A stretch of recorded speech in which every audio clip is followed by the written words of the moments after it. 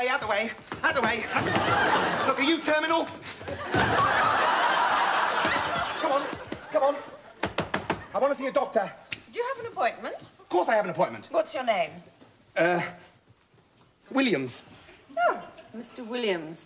Goodness gracious, you are looking well. Well, you know, like to put a brave face on it. One doesn't like to wallow in these things. Yes, and you've grown two new legs. Yeah, the great.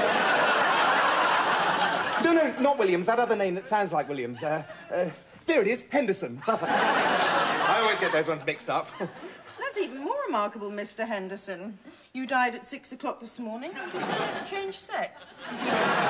All right, Poirot, so I haven't got an appointment. Why didn't you make an appointment? Because I didn't know I was going to be ill. I'm sorry, sir, but unless it's an emergency. It is, it is. It's an emergency. Why, what's the matter? I've only got three days to live. Why, what's wrong with you? I don't know. Well, how do you feel? I feel great. Look, there's some genuinely sick people in here who need attention. Yeah, and I think you're one of them, missus. I'll be in a week next Friday. So this is it, is it? This is the land fit for heroes. I hurt my leg in the Falklands conflict for this, did I? Did he? Oh, yeah, yeah.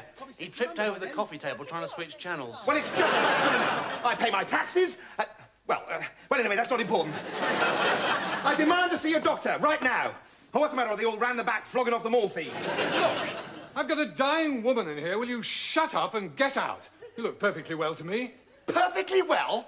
Look, Buster, if I'd wanted a transvestite's opinion, I would have gone to the Whiskey A Go-Go. I'm here to see a doctor. Do you mind? I'm Sir Roger Cobbermoby, the world-famous heart surgeon. This is my hospital. Now then, you look perfectly well to me. Shut up and get out. Oh, thank God. Sorry, I didn't recognise you there, Doc. Uh, Got bad eyesight, you see. It was a Falklands war wound. Sorry about that. Anyway, thanks again, mate.